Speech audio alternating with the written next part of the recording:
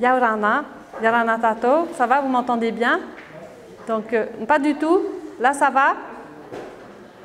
Et là Hapoué C'est mieux? Ok. Donc, Yaurana, Yaurana à tous.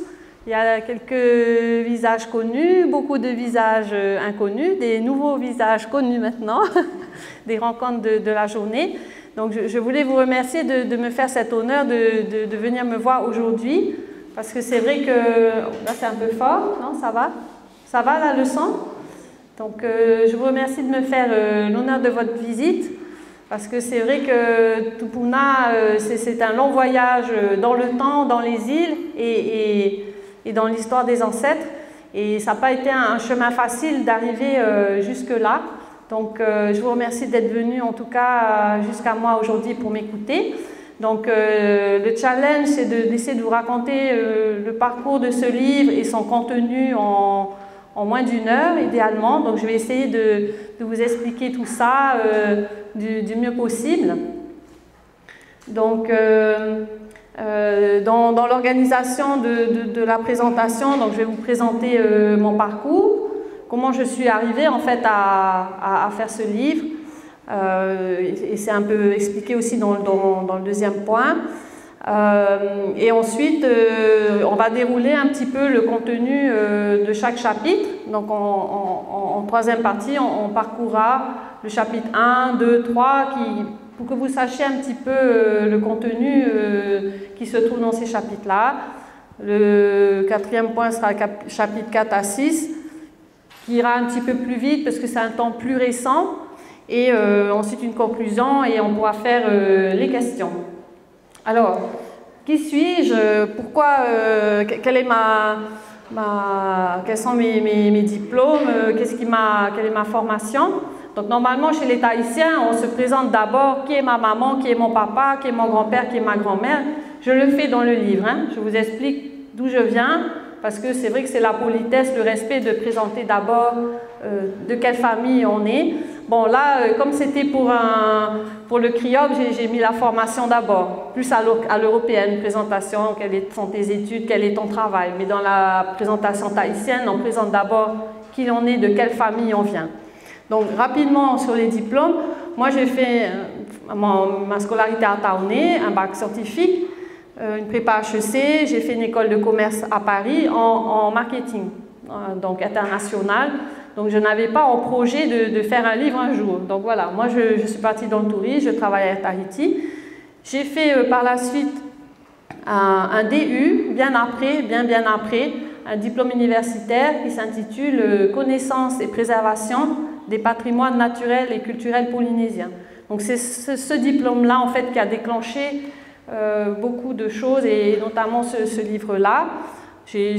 quand j'ai décidé de le terminer, j'ai aussi fait euh, euh, un certificat universitaire ces deux dernières années sur la culture générale en Polynésie. C'était surtout pour mettre à jour certaines données, puisque le livre, vous verrez, je l'ai commencé il y, a, il y a assez longtemps, il y a Rana, et, je, travaille aussi euh, beaucoup pour améliorer euh, mon tahitien parce que j'appartiens à ces générations qui n'ont pas appris l'histoire de leur pays à l'école mais qui n'ont pas euh, appris le tahitien à la maison. Hein, donc ma maman parle très bien, hein, c'est quelqu'un qui fait souvent, qui est même, hein, qui passe à la télé souvent, mais elle nous a jamais parlé. Bon, mais la, la langue, ça va être une autre histoire. Ce ne sera pas l'histoire d'aujourd'hui. Donc, je vais vous présenter euh, une vidéo qu'on a faite pour le lancement du livre euh, avec, mon chéri qui est un, expert dans la culture aussi et il m'a bien soutenu tout sur ce, projet. Donc, je vous présente la petite vidéo. Je ne sais pas si vous l'avez déjà vue. Voilà le chéri en question. Yaorana, comme la plupart des personnes de ma génération, je n'ai pas appris l'histoire de mon pays à l'école. Le passé est donc longtemps resté un mystère. Lorsque j'en ai eu l'occasion, je suis allée à des cours du soir à l'Université de Polynésie française, un cours sur les patrimoines naturels, culturels et historiques polynésiens. Et là, le voile qui obscurcissait le passé s'est levé. Dès cet instant, je suis partie sur les traces des ancêtres, dans les livres d'abord, mais aussi dans la navigation, la danse. J'ai également parcouru Tahiti et les îles et je me suis rendue jusque dans le triangle polynésien.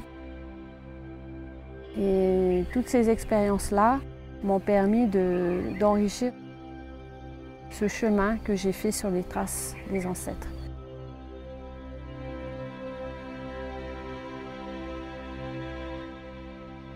Je suis Moya Idarius, une auteure polynésienne. Donc je suis heureuse aujourd'hui de vous présenter mon livre Tupuna, Voyage sur les traces des ancêtres à Tahiti et dans les îles, qui retrace le parcours incroyable et parfois tragique des Tupuna, les ancêtres des Polynésiens. Un grand voyage commencé il y a plus de 1000 ans, parcouru de rencontres et qui nous conduit jusqu'à nos jours. Vous découvrirez également dans ce livre l'étendue de nos patrimoines naturels, culturels et historiques. 257 pages vous attendent avec de nombreuses photos et illustrations. Je vous invite à lire Tupuna, qui est un voyage dans le temps, mais aussi à travers les îles et les archipels polynésiens. Yaurana.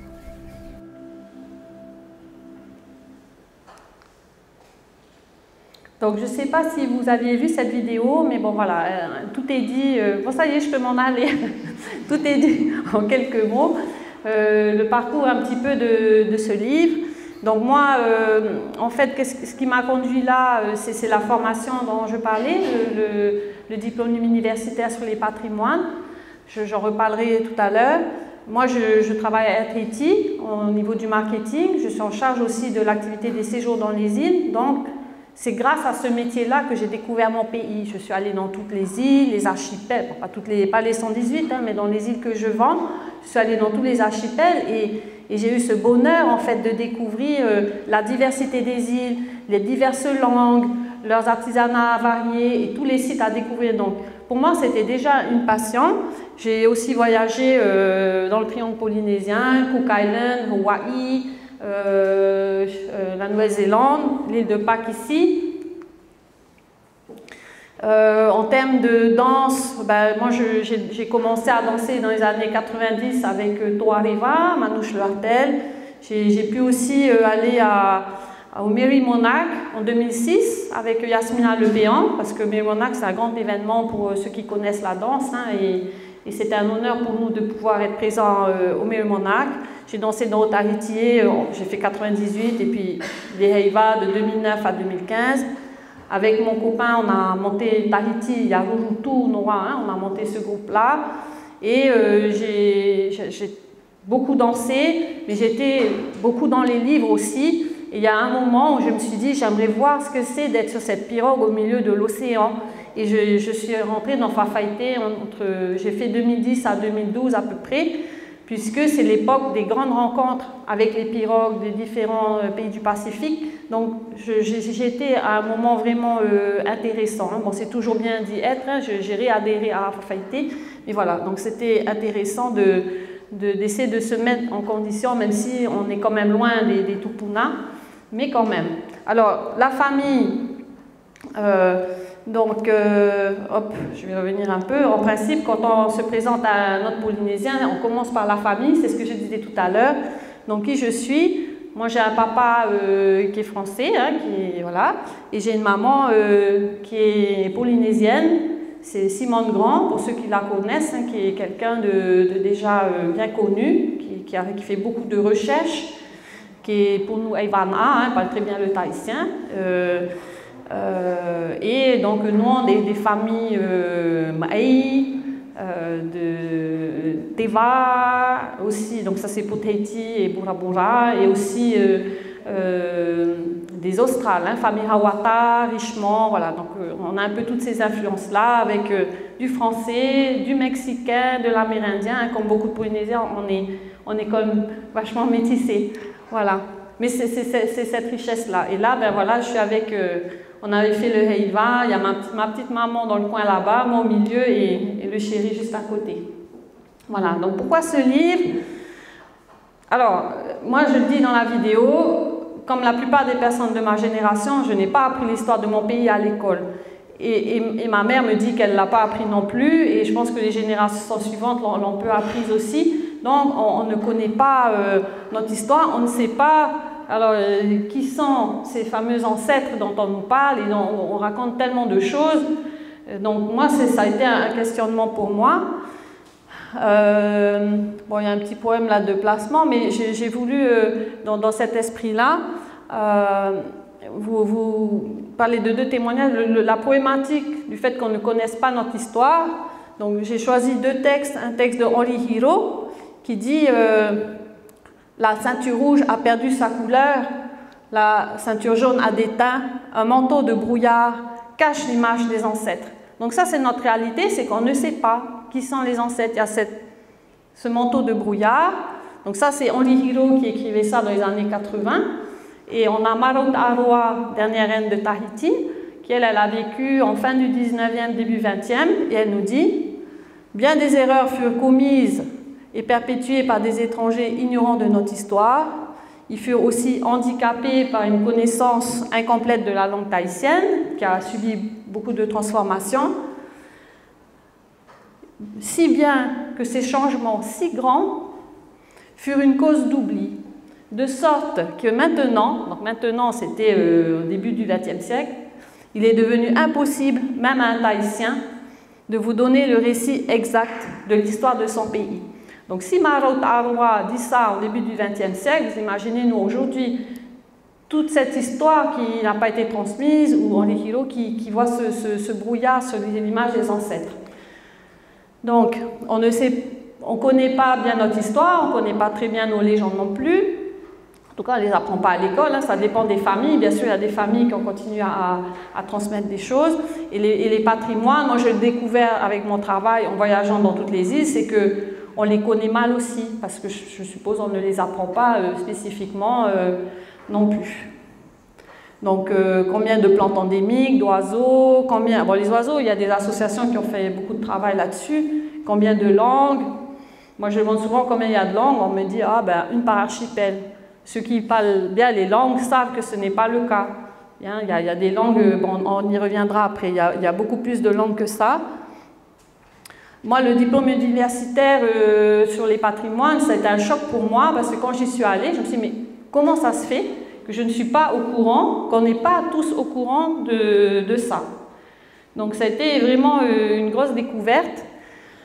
Et donc, je vais vous expliquer pourquoi. Bon, j'ai rencontré aussi une personne qui est du guide de voyage Lonely Planet, qui lui est déjà auteur, et c'est lui un jour qui me dit Tiens, euh, ça ne te dit pas de faire un livre Alors, bon, moi, ce n'était pas du tout un projet dans ma vie. Mais euh, voilà, j'ai été tellement choquée parce que j'ai appris, euh, pas choquée, c'est pas forcément parce que les informations sont choquantes, mais parce que j'ai découvert que j'étais ignorante à ce point et que c'était nécessaire de partager. Donc c'est comme ça que, que, ce livre est né. Donc euh, pour ceux qui s'intéressent déjà depuis longtemps à l'histoire, ben, il y, a beaucoup de livres hein, qui existent déjà mais c'est vrai que l'information est dispersée dans de nombreux livres Ils sont des livres savants qui ne sont pas toujours accessibles à tout le monde. Donc ça, c'était un des constats. Et c'est tout cela qui m'a conduit euh, à faire ce livre. Vous voyez, j'en ai lu beaucoup. bon, sûrement, certains parmi vous en ont lu autant ou plus, hein, mais vous savez à quel point ça peut être compliqué d'avoir une histoire quand on doit euh, lire tout ça et, essayer de faire un peu d'archéologie de, là-dedans. Un gros travail de synthèse que j'ai commencé il y a plus de 15 ans. Ça m'a pris beaucoup de temps parce que j'ai déjà un travail, donc j'ai fait ça euh, les soirs, les week-ends, euh, pendant mes vacances. voilà. Et puis il y a certaines années, j'ai préféré aller danser ou aller se fafaiter parce que ça complétait aussi mon, chemin. Donc moi, euh, ce, qui a marqué ma démarche aussi, c'est que moi, étant issue de ces différents peuples, je me suis vraiment questionnée par rapport à ce que je lisais et, il y avait un point de vue européen qui était très présent, mais j'ai trouvé que le point de vue polynésien n'était pas suffisamment. Donc moi, je voulais faire entendre ces voix-là parce qu'on a une vision plus complète des choses quand on a les, différentes visions. Donc c'était d'essayer de, comprendre en fait le parcours de chacun et cette rencontre-là, et aussi de faire entendre la voix, ben, vous verrez, des, vaincus. J'ai essayé aussi, puisque là c'est dans le cadre du CRIOM, hein, la, demande de Cécile, c'est d'expliquer un peu ma démarche. Dans le livre, j'ai essayé d'avoir une approche pédagogique, c'est-à-dire de mettre des petits le saviez-vous, euh, de façon à ce que même des personnes qui ne sont pas fans de lecture, j'espère vraiment les attirer dans le livre et qu'ils aient envie de lire même des petits bouts et peut-être après plonger vraiment dans le livre. J'ai beaucoup d'amis dans la danse euh, qui ne lisent pas, mais ils m'ont fait l'honneur de lire ce livre-là. Alors je suis très contente. Mon objectif, c'est que la connaissance, elle, se, partage et qu'ensuite les personnes aient envie d'aller peut-être lire des livres un peu plus compliqués. Voilà, c'était ça, ça ce projet-là. Bon, on verrait beaucoup de photos d'illustration et comme je disais, contribuer à une meilleure connaissance de l'histoire et de nos patrimoines parce qu'on a besoin de savoir. On ne peut pas rester avec le noir derrière nous. Donc, pour entrer plus dans le livre, donc, euh, euh, les trois premiers chapitres, donc vous verrez euh, si, vous lisez celui-là, bon, l'introduction, elle explique ce que je viens de vous dire. Le premier chapitre, c'est Terre d'aventure et de légende. Le second, la rencontre avec les Occidentaux, entre mythe et réalité, parce qu'il y a beaucoup de mythes. Et une civilisation perdue. Donc sur les terres d'aventure et de légende, ce que j'ai... Bon, j'ai des petits soucis là de... Ça fait pas la même chose sur mon ordi, mais c'est pas grave, je pense que vous voyez bien quand même. J'insiste sur le fait que ces, ces îles sont parmi les plus isolées de la planète et les plus éparpillées. C'est important parce que ça va conditionner beaucoup de choses par la suite. Ces, terres-là, euh, ce que je trouve intéressant, c'est qu'elles ont engendré des légendes euh, et des mythes chez les Occidentaux, mais beaucoup de légendes et aussi chez les premiers euh, habitants de ces îles, les, ancêtres des Polynésiens, moi ce que j'appelle les, Tupuna. Donc là, alors, comme je disais tout à l'heure, mon objectif c'était d'essayer de faire entendre des voix qu'on n'a pas suffisamment entendu. Et euh, quand on parle de la formation, donc quand on, les premiers navigateurs européens sont arrivés, première question, mais comment ces îles sont arrivées là? Bon, on connaît hein, le volcanisme, etc. aujourd'hui, mais c'est intéressant aussi de savoir quelle est la vision des anciens Polynésiens. Pour eux, c'est Aroa qui a créé ce monde, euh, qui a appelé euh, euh, le monde à l'existence, donc Aroa, bon, ça c'est un tableau que j'avais fait qui est sur 109 avec Tumul Eifenua qui maintient le, ciel et la terre ensemble. Donc voilà, il y a une représentation que les anciens Polynésiens avaient de leur monde.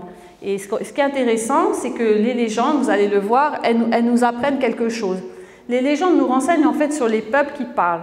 Le mythe du paradis, on le verra, renseigne sur les problématiques des Européens de cette époque les mythes des anciens Polynésiens, ce n'est pas juste du dessin animé.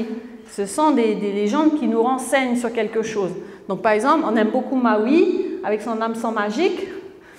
Donc, selon la légende, hein, donc on a plusieurs légendes de la création du monde. On a celle de Taroa qui créa le monde, mais on a aussi euh, les légendes de Maui, Tafei, Ru, Hina, qui ont pêché des poissons au fond de l'océan et en les ramenant à la surface, ça devenait des îles. Alors, oui, c'est un dessin animé sympa, mais qu'est-ce que ça nous dit, ces légendes-là? C'est que, et, les chercheurs le, disent aujourd'hui, c'est que ces légendes-là nous expliquent que Maui, Tafei, tous ces gens-là, c'est des personnes qui ont probablement déjà qui ont probablement existé et qui se sont tellement illustrées dans leur communauté qu'ils sont devenus des légendes.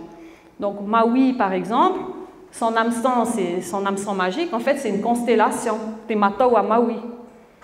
Hein, et par exemple, Maui est considéré aujourd'hui comme un des plus grands navigateurs du Pacifique parce qu'il a c'est-à-dire découvert pour les populations de cette époque des îles. Et moi j'aime bien cet exemple, c'est que l'île nord de la Nouvelle-Zélande s'appelle Teika à Maui, c'est-à-dire le poisson de Maui. Donc cette légende, ce n'est pas qu'un dessin animé, elle nous renseigne sur la réalité que ce peuple-là est un peuple de grands navigateurs et leur légende nous explique qu'ils ont découvert toutes ces îles-là. Et la légende de Taroa est intéressante aussi, parce que la légende de Taroa nous explique que Taroa a posé son pied à Veyarei et qu'il a développé une communauté. Et on pense aujourd'hui que Taroa est aussi une personne qui a déjà existé, qui a vraiment existé, et qui a développé la société des Huyari, que les premiers Européens ont découvert. Donc vous voyez, les légendes, c'est intéressant parce que ça nous renseigne. Ce n'est pas que du dessin animé, ça nous renseigne sur une vision du monde. Une vision du monde qu'on connaît peu ou qu'on a peu entendu. Donc bon, des héros légendaires, on en a un certain nombre.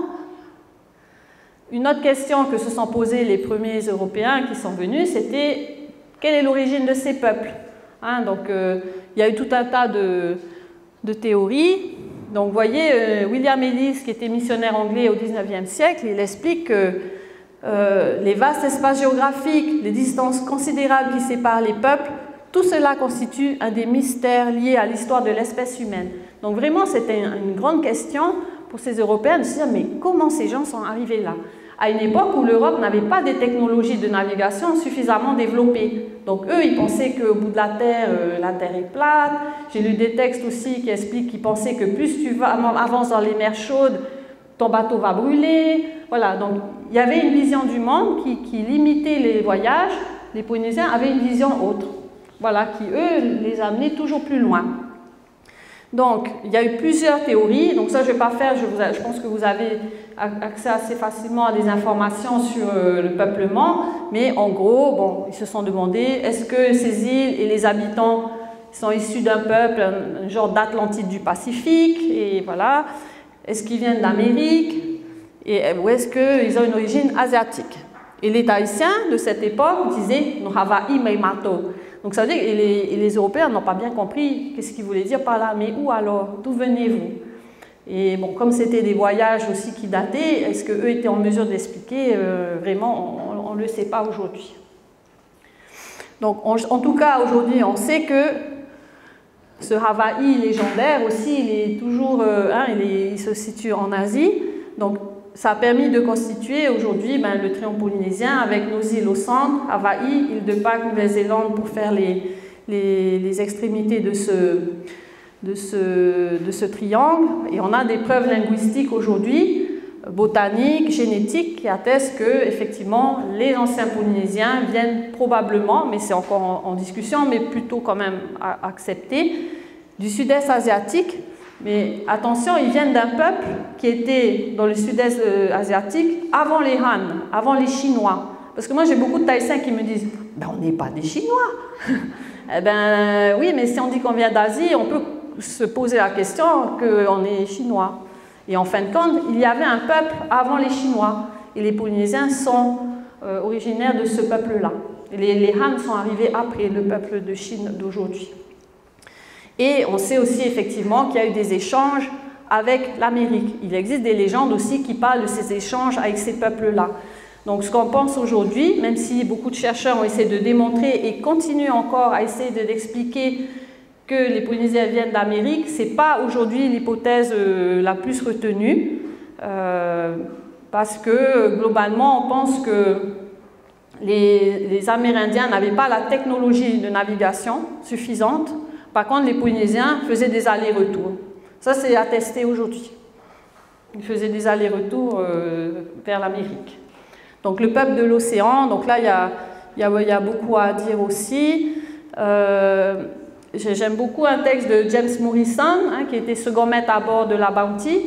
Euh, Morrison, c'est intéressant son parcours parce que a, il, fait partie des premiers Européens à avoir vécu parmi les Tahitiens au, dans les toutes premières années du contact. Et il a vécu deux ans. Il a une femme, des enfants, etc. Donc il était jeune, avec un point de vue euh, assez neutre et sans jugement. Donc son travail, il est intéressant parce qu'il décrit simplement ce qu'il voit. Et, pour des Européens, ben, vous voyez, il peut paraître étrange à des navigateurs européens que ces gens soient capables de trouver leur chemin à de telles distances, sans documents ou instruments, mais leur expérience et leur connaissance du mouvement des corps célestes, du lever du coucher des étoiles est telle qu'un astronome européen refuserait de le croire. Voilà, donc vous voyez, il y a, deux, mondes aussi qui ne se comprennent pas bien et qui n'ont pas qui ont chacun développé des technologies différentes dans des domaines différents. En tout cas, les Polynésiens, ça a été longtemps une question, ah, comment est-ce qu'ils ont fait pour arriver jusque-là? C'est peut-être le fruit du hasard. Aujourd'hui, on sait que ce n'est pas le cas, c'est une vraie technologie qu'ils avaient. On connaît aussi la carte de Tupaya, euh, donc Tupaya qui a, qui a pu euh, placer sur une carte des îles qu'il connaît, et ça reste une carte mystérieuse, puisque c'est une carte qui n'est pas vraiment géographique, qui serait aussi un peu astronomique. Donc moi j'ai lu plusieurs articles à ce sujet. Voilà, c'est encore euh, une carte pleine de mystères.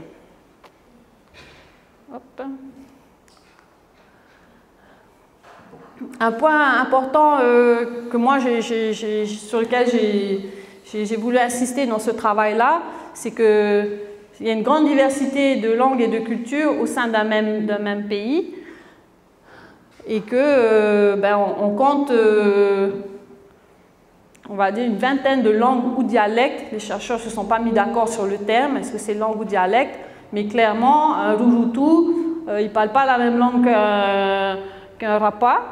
Un Rapa, ils ont une langue unique au monde. Les Gambiers aussi, une langue unique au monde, ils ne se comprennent pas avec les Marquisiens et on a du mal aujourd'hui à déterminer, tant il y a d'îles au Tuamotu, combien il y a exactement de langues au Tuamotu. On va dire, en gros, depuis les années 60, on dit il y en a sept aires linguistiques, mais peut-être plus, euh, voilà. Donc c'est important d'être conscient, parce que moi quand je pose la question, combien il y a de langues en Polynésie On me dit ah, une par archipel. Pas du tout. Hein. Vous voyez, c'est il y a une grande diversité de langues et de cultures, et ça, c'est un trésor que les générations doivent préserver. C'est vous que je regarde. voilà. Alors, un point intéressant sur, les, mythes, là, on a parlé des légendes des Polynésiens, Taharwa, Maui, les grands navigateurs. Là, on va se rapprocher du contact. C'est important de rappeler, parce que ça, c'est des informations que moi j'ai découvertes dans cette formation, c'est que les îles sont tellement isolées au milieu du Pacifique et éparpillées que la nature, ce sont les chercheurs qui disent, ne pouvait pas amener des plantes, beaucoup de plantes, toutes seules. C'est-à-dire que le paradis qui a enchanté les premiers navigateurs européens, ce n'est pas une nature providentielle. C'est pas je m'allonge et tout me tombe tout cuit dans la bouche, je n'ai pas besoin de travailler. Ça, c'est un mythe. C'est le mythe du paradis qui, qui a une fonction pour les Européens de cette époque. En réalité, ce sont les, les qui ont implanté toutes ces plantes alimentaires, l'une après l'autre, l'une après l'autre, à travers des voyages au milieu, de cet océan sur des pirogues, à, à les transporter, à les multiplier. Donc, un paradis, oui, mais fabriqué par des hommes, pas qui est sorti tout seul de nulle part. Et c'est important parce que ça enlève un peu le mérite aux humains de croire que c'est la nature qui a tout fait. Alors oui, elle fait beaucoup, hein. on aime notre mère nature. Mais les humains ont joué un rôle déterminant pour, euh, pour tout ce qui est plantes euh, alimentaires. Voilà. Et d'ailleurs, il y a la légende de Taroa. Si on avait bien écouté la légende de Taroa, la légende de Taroa dit quoi? Que les plantes sont issues du corps de l'homme. Ça veut bien dire que c'est un humain qui l'a fait. On n'a pas écouté la légende de Taroa, on a écouté le mythe du paradis qui dit que l'homme n'a pas besoin de travailler et que tout arrive tout seul. Donc vous voyez, c'est intéressant d'avoir ces différents points de vue parce qu'on se rend compte que ça décrit deux réalités complètement différentes. Donc, euh, c'est ce que je viens de dire. On, pourrait faire le même exercice avec l'arbre à pain, qui est, le, qui un arbre qui fait du pain, mais alors c'est l'arbre du paradis. Mais pour les, pour c'est l'arbre qui sauve de la famine. Pourquoi? Parce qu'il y a des grosses périodes de disette. Ce n'était pas aussi simple que ça de vivre dans ces îles-là à ces époques. Hein, vous voyez, les mythes nous renseignent. Donc c'est toujours important d'essayer de, lire entre les lignes. Et donc pendant des siècles, une civilisation à l'écart du monde connu, je mets connu des Européens bien sûr, parce que ben, eux ils connaissaient euh, où ils habitaient. Donc on va aller sur un chapitre qui est important, la rencontre entre mythe et réalité. Alors moi j'ai grandi avec les, avec les images, avec les films de Marlon Brando, euh, Hollywood, euh, les Européens arrivent, les femmes se jettent à leur cou, tamouré, cocotier, c'est merveilleux. Et voilà, tout le monde est content, c'est toujours le paradis. Donc ce qu'on sait aujourd'hui, euh, si on essaie de s'intéresser aux deux visions, donc ça je, je l'ai mis ici, c'est la découverte d'un paradis terrestre inespéré pour les Européens, parce que ce mythe du paradis a une fonction. Il permet de critiquer le gouvernement en Europe de cette époque. Il permet de, de, dire qu'on n'est pas d'accord avec la façon dont les choses se font. Mais il n'est pas une réalité. C'est un mythe. Donc découverte d'un paradis terrestre inespéré pour les nouveaux venus, fin d'un monde et début d'une ère nouvelle pour les insulaires. On va, on va parler de ça après. Et loin des récits mythiques d'une rencontre parfaite, c'est une formidable aventure, cette rencontre-là. Mais ce n'est pas l'aventure de Hollywood. Elle met en présence deux univers que tout sépare, par les océans, par les points de vue, par la vision, et euh, qui sera riche d'alliances et d'intrigues, d'amour et de violence. Donc là, ça y est, on rentre dans un film, parce que voilà, la vie, c'est aussi cette aventure-là. Et j'insiste, et ça je vais le, dire après, cette rencontre se fait et, des malentendus inévitables s'installent. Donc on va en parler de ça. Donc là, vous voyez une petite frise avec euh, les Espagnols et Portugais qui arrivent aux Marquises dans les années 1595-1606. Euh, une coupure et après euh, Wallis, ici, le premier Européen à arriver à Tahiti. Alors, ce qu'on découvre, c'est que c'est une, rencontre qui, c'est pas le cocotier t'a mouru, j'étais trop déçue. En fait, ça a été une, rencontre très violente. Hein, les, les, les, Espagnols et les Portugais, euh, quand ils sont arrivés au Marquis, ils ont tué 200 personnes. Ils ont découpé, accroché sur les poteaux sur la plage. Wallis, oui, il y a eu des, il faut, voilà, il y a eu des hésitations de part et d'autre, mais au bout d'un moment, ben, les Polynésiens ont essayé de repousser en fait ces, êtres étranges dans un bateau bizarre avec des, des, choses qui faisaient du feu. Voilà, ça, devait être assez choquant euh, cette vision-là. Et quand euh, ils ont décidé de les rejeter, bon, ben, ça a été coup de canon sur la population, fusil, etc. Donc les premiers contacts, les premiers, hein, j'entends, c'était pas euh, le paradis. Hein. Euh, et ça, ben moi, je l'ai découvert aussi en faisant, euh, en faisant ces, cours-là. Ça a été un grand choc pour moi, je ne vous le cache pas. Donc, et, mais j'ai trouvé intéressant sur beaucoup de livres, enfin plusieurs livres que j'ai lus, qui traitent des malentendus culturels. Et ça m'a assez parlé, parce que moi, je suis issue de ces deux mondes-là. Et je me suis dit que ces livres-là, euh, alors j'aime beaucoup le livre Le dit d'un malentendu culturel de Bernard Rigaud. Il dit ceci Nous pouvons nous haïr, l'histoire l'atteste peut-être. Nous pouvons nous aimer, l'histoire l'atteste sûrement. Mais nous ne pouvons pas nous comprendre. Alors, ce n'est pas impossible, impossible, on est bien d'accord, mais ce qu'il essaie de dire là, c'est qu'il y a eu des malentendus très forts dès le départ, et certains malentendus n'ont jamais été levés. Jusqu'à aujourd'hui, certains malentendus et, incompréhensions se, poursuivent. C'est pour ça que c'est intéressant. Donc, ils ont été plusieurs à, travailler dans cette direction. Bernard Rigaud le dit d'un malentendu culturel. On a eu Anne Salmon qui a fait un livre fantastique aussi sur euh, donc l'île de Vénus, tous les malentendus de la rencontre, etc. Et bien sûr, le livre de Tchakezov qui parle euh, de la rencontre avec les varinés. Parce qu'en tant que femme, c'est vrai que quand j'entendais, dès qu'il y a des étrangers qui arrivent, ils se jettent à leur cou, je dis, bah, quand même, c'est bizarre cette, façon de faire. Et euh, on se rend compte en fait que ça aussi, ça a été une interprétation. Donc, les premiers malentendus, moi, il y a un que je trouve assez amusant, même si ce n'est pas vraiment drôle, mais dans les premiers contacts avec Wallis, bon, on, se met, euh, on essaie de se mettre dans une autre place.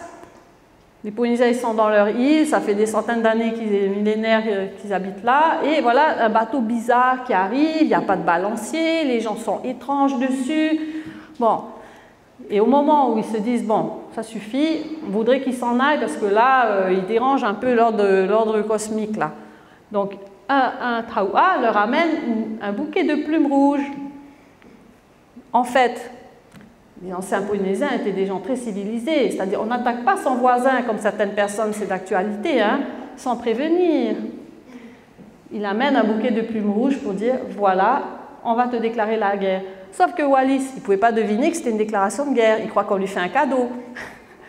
Donc Wallis accepte le bouquet de plumes rouges et patatras la guerre. Donc vous voyez, c'est des malentendus essentiels qui prouvent que dès le départ, ils ne se sont pas compris. Et ça a eu beaucoup de conséquences. Donc, la déclaration de guerre à Wallis, le paradis, les varinés, il y a un livre très intéressant, et Anne Salmon le fait aussi dans son livre, qui dit qu'en fait, les jeunes filles, au bout d'un moment, les Polynésiens, les, les Tupuna, ils ne savaient pas trop quoi faire, mais ils envoyaient des jeunes filles un peu en, sacrifice, bon, ben, on ne sait pas quoi faire, on va leur envoyer des filles qui étaient adolescentes, en pleurs, tremblantes de peur, voilà comment ça... Donc vous voyez, il y, a, plusieurs visions possibles d'un même événement. Alors ça ne veut pas dire que par la suite, il n'y a pas eu des relations normales, sincères qui se sont établies, mais les premiers contacts ont été très violents. C'est ça que moi j'ai découvert, en tout cas euh, grâce à tous ces travaux des chercheurs. Donc euh, ces contacts aussi entraîné de, de nombreuses conséquences sur le plan politique, des premiers bouleversements, c'est aussi des premiers écrits, parce qu'il y a beaucoup d'écrits qu'on exploite aujourd'hui. Si on sait lire entre les lignes, on apprend à lire entre les lignes hein, à l'université, on apprend à, comprendre un peu les récits, parce que, en fait, comme il n'y a pas beaucoup d'écrits, ces récits-là des premiers navigateurs sont, essentiels. 1797, euh, arrivée des missionnaires anglais, sous l'indifférence générale. Hein. Vraiment, ils n'avaient pas besoin de ces personnes-là, même sous les rires des populations. 1815-1819, alliance réussie avec Pomaré, qui devient, après une ultime bataille contre ses adversaires, le, premier roi de Tahiti, parce qu'il pas de roi, hein, c'était des, chefferies hein, euh, d'importance diverses, mais il n'y avait pas un, contrôle unique. Et ça a été, c'est en suivi euh, ben, une conversion massive des populations à une époque où des épidémies font rage. On va en parler des épidémies aussi. La Polynésie, elle n'a pas été épargnée. C'est comme l'Australie, comme l'Amérique. Euh, ils n'étaient pas immunisés contre toutes ces maladies et il y a eu des, populations massives. Les gens sont, morts de, même de maladies pour lesquelles les Européens, eux, ne, souffraient pas. Et euh, il y a même un missionnaire, Davis, qui dit on dirait que juste l'air qu'on respire, on passe à un endroit, on respire, et après, des morts en, cascade. Donc c'est vrai que ce choc-là, les épidémies, on en reparlera après, c'est déterminant aussi dans notre histoire parce que ça veut dire qu'on a énormément de population qui a disparu en quelques décennies. Et forcément, ça a des conséquences sur, euh, sur nous par la suite. Donc là, en tout cas, 1819, interdiction des danses, du tatouage, destruction des arbres sacrés, diabolisation des ancêtres, qui est une expression favorite de ma maman, puisque ben, tout ce qui appartient au passé, c'est Satan. Et aujourd'hui, c'est Jésus. Voilà. Donc, euh, ce n'est pas aussi sans conséquence, cette, euh, cette euh, approche-là. Donc, les mythes, hein, on, le voit, j'en parle aussi dans mon livre, du bon ou du mauvais sauvage, ça, ce sont des mythes qui ont une fonction aussi chez les Européens. Le bon sauvage, c'est dans le sens noble, le noble sauvage, euh, l'homme euh, imaginé par Rousseau. Certains, comme Omei, qui est un ancêtre à moi, a même été reçu, euh, et il n'était pas le seul, hein, d'autres de cette époque ont été reçus au cours d'Angleterre, au cours de France, comme vraiment des gens extraordinaires.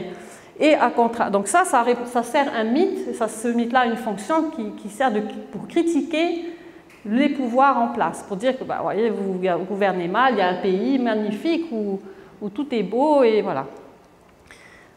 Dans la même lignée, le mythe du mauvais sauvage cannibale qui mange son voisin dès qu'il a faim, etc., ça avait une fonction aussi pour les missionnaires, parce que les missionnaires avaient besoin de ce mythe-là pour justifier leur présence et leur conquête, parce que l'évangélisation servait à conquérir des contrées. Hein. C'est pas juste amener la, bonne parole euh, à ces peuples. Alors, je, l'ai mis parce que ça a des conséquences très fortes chez nous, dans nos familles, ces visions-là. Parce qu'on vit souvent entre. Alors, les Tupunas, c'était des affreux sauvages ou c'était des bons sauvages Voilà, c'est parfois un peu vécu de manière difficile et, et surtout que la religion a une place très importante dans nos cœurs, dans nos familles. Donc comment on arrive à faire cohabiter les anciens dieux et les nouveaux? Là, on est, voilà, c'est pas, pas toujours une réponse facile. Donc le chapitre 3, parce que je sais que je prends beaucoup de temps, euh, il va parler à la suite du contact avec tous les, les, les, bouleversements, l'évangélisation et les épidémies massives, la civilisation des ancêtres est tombée dans l'oubli. Donc aujourd'hui, et moi j'ai eu la chance de participer à ces cours-là, avec, de lire beaucoup de choses, on a une vision plus juste de cette société qu'on a extirpée du monde de la sauvagerie. Ce n'étaient pas des sauvages, ça n'a jamais été, c'était juste des êtres humains différents, mais les peuples qui les ont décrits n'arrivaient pas toujours à comprendre Donc, du coup, ils les ont décrits d'une manière euh, souvent négative ou parfois extrêmement positive, mais, mais rarement juste. C'est ça qui est intéressant. Donc, aujourd'hui, à travers le travail des, chercheurs, on arrive à discerner un peu les traits de ces tupunas et de voir des êtres humains avec euh, un, mode de vie, un fonctionnement très différent. C'est ça qui est, intéressant. Et donc, pour nous, c'est important aujourd'hui d'utiliser les bons mots.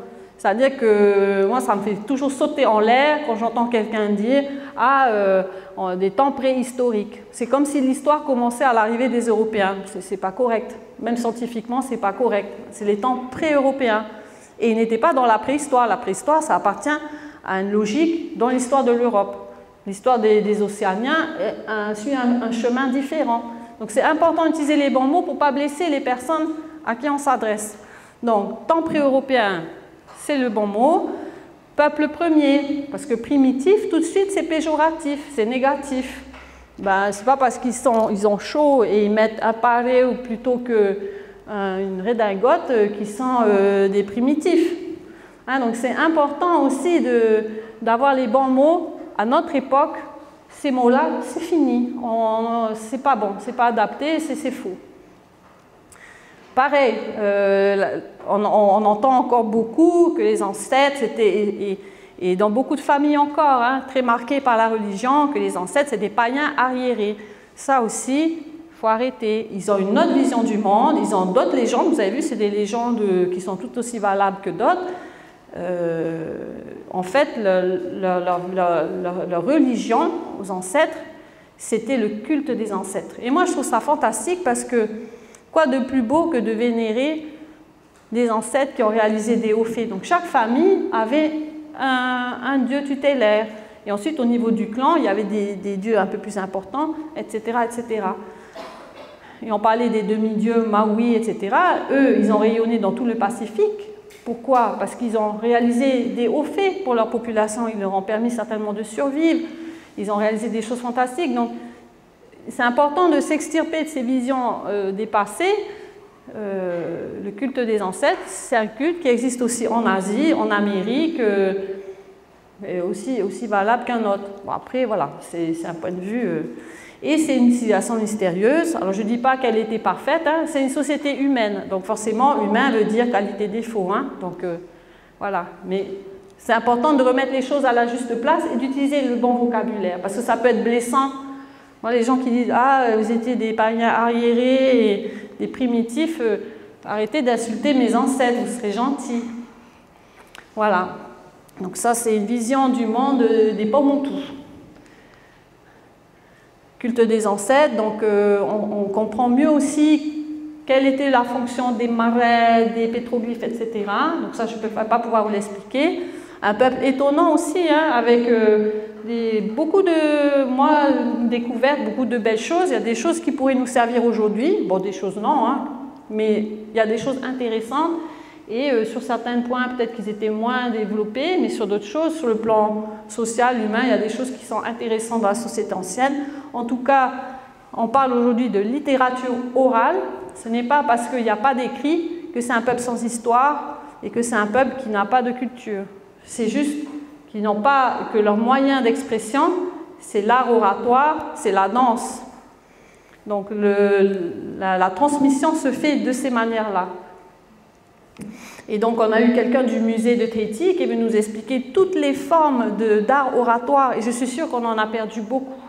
Donc, très très complexe, et ceux qui travaillent sur les textes anciens savent que c'est d'une grande complexité et d'une grande beauté, et même aujourd'hui, quand on les lit, on n'arrive même pas à bien comprendre ce qu'ils essaient de nous faire passer comme message, parce que trop de siècles et de changements sont passés. Voilà, alors intéressant aussi, qu'est-ce qu'ils ont apporté Bon là c'est un grand, grand résumé hein, que je vous fais de ce livre. Qu'est-ce qu'ils ont apporté au reste du monde? Mais Il y a du vocabulaire hein, qui est dans la vie de tous les jours, le thème mana, le thème tabou, le mot tatouage vient du thème tahitien tato, euh, le surf qui vient de, notre région. Hein. Euh, Captain Blight avait vu euh, beaucoup, de gens surfer, hein, voilà sur des pirogues, euh, sur des bouts de bois, euh, sans rien, comme ça se fait encore aujourd'hui. Euh, le Moneuil, bien sûr, le Pareo, Pareo, hein, pour nous les Tahitiens, des bateaux multicoques, et plus récemment, bien sûr, le Nono, hein, qui est le Noni Juice, là, le produit miraculeux, le Va'a et la danse qui sont dansés maintenant, je crois pas plus de Japonais que de Tahitiens, si je ne me trompe pas, ou plus de Mexicains même. Donc voilà, les, trois premiers chapitres, je les ai isolés parce qu'ils permettent de placer déjà qu'il y a plusieurs visions du monde, plusieurs visions de l'histoire et que c'est important de rentrer dans quelque chose de plus juste. Les, quatre chapitres, les trois chapitres suivants, je vais aller plus vite parce que on a, ben, le temps est compté. Mais euh, voilà, les chapitres suivants sont intéressants aussi, mais c'est un temps plus récent et peut-être plus facile à aborder. Parce que j'ai trouvé que tout ce qui concerne le temps d'avant, euh, c'est plus l'histoire des archéologues et des anthropologues que même les profs d'histoire. Alors du coup, c'est pas toujours facile d'accéder à l'information. Et c'est pour ça que j'ai eu cette chance d'avoir des cours avec des, profs fantastiques, anthropologues, archéologues, etc. Donc sur un temps plus récent, l'information est plus accessible, mais j'ai découvert beaucoup de choses néanmoins. Le temps des colonies ici, donc où la France euh, s'implante durablement, à une époque où la France et l'Angleterre se partagent le monde. Hein, on parle des grandes puissances coloniales de cette époque. Alors apparemment, les deux pays voulaient la Nouvelle-Zélande, mais les Français se sont placés, les Anglais sont arrivés après. Bref, hop, exit la France. Bon, c'est l'Angleterre qui a eu la Nouvelle-Zélande. Donc dépité, la France s'est rabattue sur notre euh, région. Et voilà, donc on se retrouve aussi au cœur de conflits. Il y a des découpages historiques par exemple, les îles Cook, les Cook Islands, c'est le même peuple que les îles des Australes.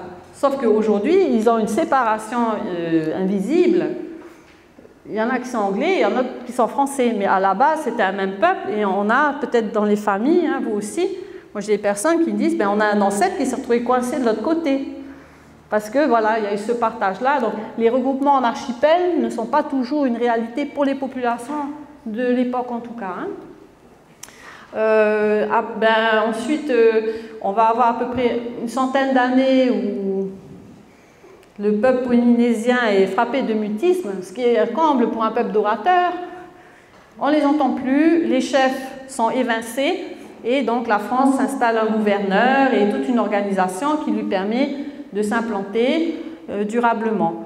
Donc, le renouveau politique et choix économique, c'est un chapitre 5 que j'ai dédié à ce sujet-là parce que je me suis demandé, ok, ben, 100 ans plus tard, A arrive et, j'ai fait connaissance avec A. bon pas en vrai bien sûr, mais dans ces livres-là, parce que moi je ne connaissais pas non plus A. C'est une, histoire récente et pourtant on ne le connaît pas.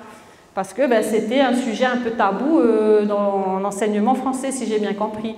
Ça fait pas longtemps qu'on a le droit de parler de lui. Alors nous, Comment on peut savoir? Donc il y, a des très bons livres euh, qui parlent de tout Pouvana, donc je les ai tous lus.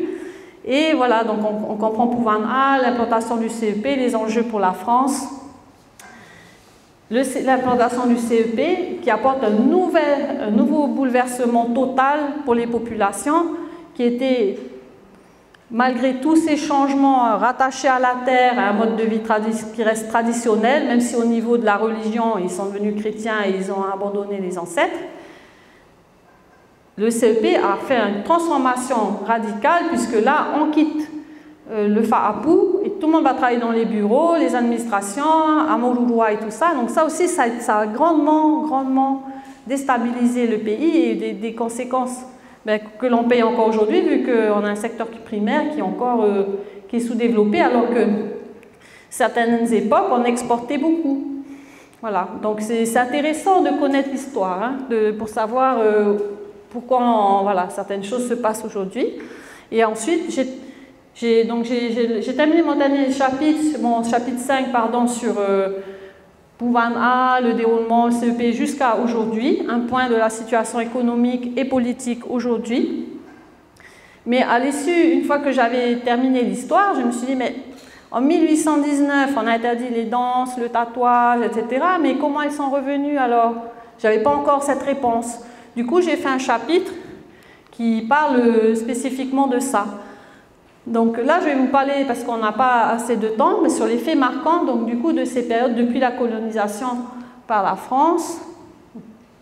Je dirais les, les faits les plus marquants, c'est ce dont je parlais tout à l'heure, c'est de la grave crise démographique qui a frappé euh, ces populations qui n'étaient pas immunisées. Donc on a perdu, selon les îles, hein, on a eu au fur et à mesure que les gens, que les étrangers passaient, s'installaient, etc., même les missionnaires hein, qui, croyaient bien faire ne euh, se rendaient pas compte qu'ils contaminaient tout le monde, ils regroupaient les gens dans les missions, donc ils les contaminaient encore plus, sans le savoir. Hein. C'était involontaire. Hein. Ce n'est pas comme les Amérindiens où on leur a donné des, couvertures euh, pleines de microbes. Là, ce n'était pas fait exprès, mais les faits sont arrivés. Et dans certaines îles, il y a une perte de 80 voire 90% de la population en quelques décennies. Les marquises du Mont Frappé, les Australes du Mont Frappé, moi j'ai une partie de ma famille qui est des Australes, balayées. Hein. Donc c'est vrai que Etretti, 80%, c'est pas rien non plus. Donc c'est vrai que c'est des choses qui, ont marqué, euh, même si on ne s'en rappelle pas, ce sont des choses qui sont essentielles à, savoir et pour, se comprendre aujourd'hui. Donc euh, voilà, ça je vais. Ah oui, il y a eu aussi, euh, ça c'est pas très connu non plus, il y a des brigands qui écumaient le Pacifique, euh, qui allaient enquiquiner tout le monde dans les îles. C'est d'ailleurs pour ça aussi qu'il y a eu un protectorat à un moment donné, parce que les, les, et les, populations n'arrivaient plus à se défendre contre ces, ces, dingos qui sillonnaient les océans, les baleiniers et autres. Donc ils ont demandé la protection d'un grand pays, l'Angleterre ou la France. Et c'est comme ça que le processus de colonisation aussi s'est implanté, parce qu'ils n'avaient plus à contrôler ces personnes-là. Il y a eu aussi du blackbirding. Je ne sais pas ceux qui connaissent le blackbirding. C'est la traite dans le Pacifique. Donc les Polynésiens aussi étaient victimes de ça. Ça, je l'ai découvert aussi. Euh, c'est-à-dire qu'il y avait des bateaux, qui, des Péruviens notamment, qui sillonnaient le Pacifique et qui, ont, qui enlevaient des gens. Ça s'est beaucoup fait Marquise, Australe. Alors l'île de Pâques, ils ont emmené presque tout le monde.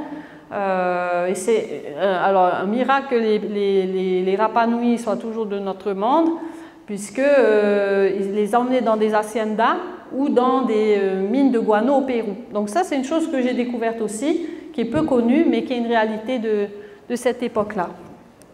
Et la France, par contre, est allée chercher les survivants, a mis aussi des moyens sanitaires pour, euh, pour permettre aux populations soit de revenir, soit de survivre aux maladies, parce que malheureusement, quand ils allaient les chercher et les ramener, ils avaient d'autres épidémies et ça tuait tout le monde. Enfin, ça a été des temps très trouble, très très compliqué.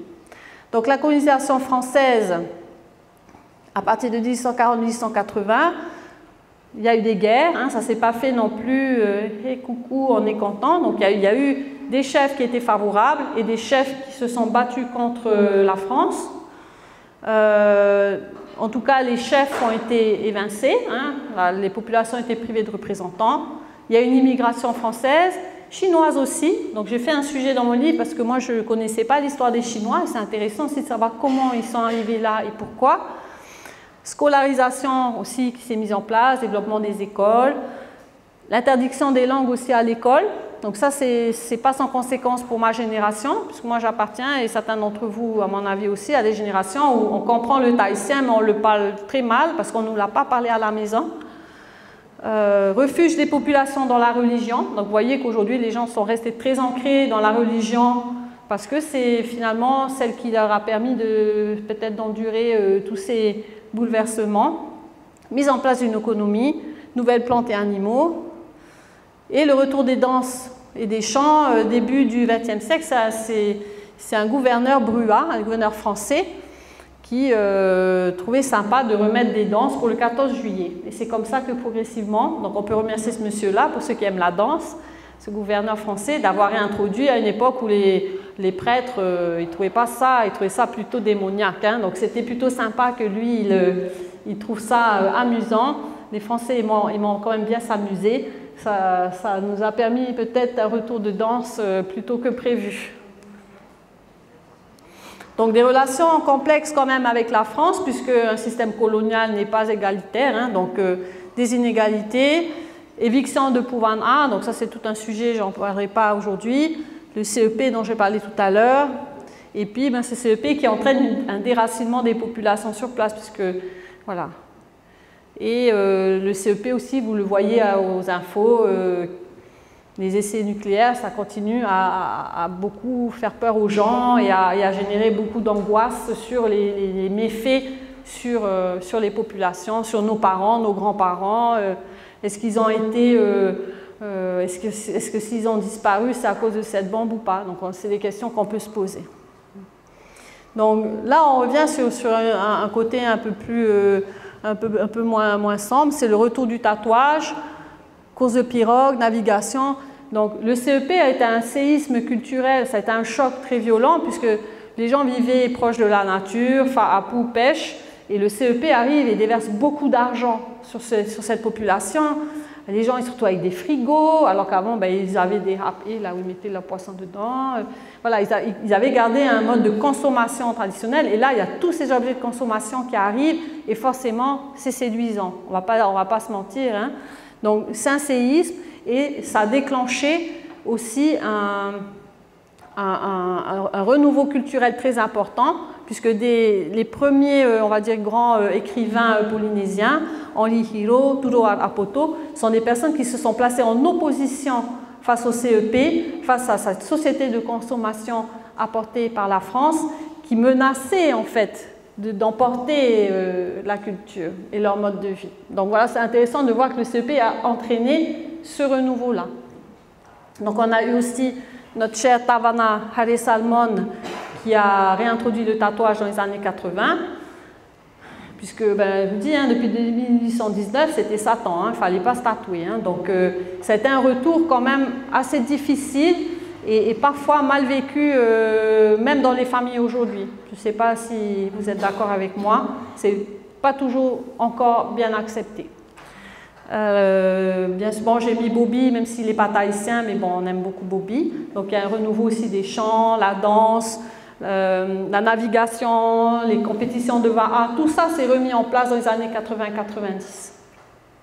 Et bien sûr, le renouveau culturel marquisien qui a suivi son propre chemin avec Motuhaka. Donc on est aujourd'hui dans une société avec euh, des équilibres fragiles, des nombreux atouts pour notre économie, mais bon, après, ça vous vivez dedans tous les jours. Aussi des, des, faiblesses, une culture vivante qui se partage largement, une religion qui est encore très présente, des inégalités sociales encore trop importantes, des problématiques croissantes d'accès à la terre, bon ça je ne vous apprends rien, mais euh, une quête d'un développement euh, durable pour tous. Donc voilà, et moi je terminerai sur tous les patrimoines, quand on, fait ce grand voyage dans le temps, de la formation des îles, de l'installation dans les îles et tout ce que ces personnes-là ont, traversé comme aventure et ces différents peuples, qu'est-ce qui reste aujourd'hui? Qu'est-ce que nous, on va faire pour, euh, de, cet héritage qu'ils nous ont laissé? Donc moi, j'ai eu la chance hein, de beaucoup voyager dans les îles, donc euh, voilà, donc... Euh, je vous présente Takai'i, pour ceux qui ne l'ont pas encore vu, euh, Oa, le plus grand tiki de Polynésie.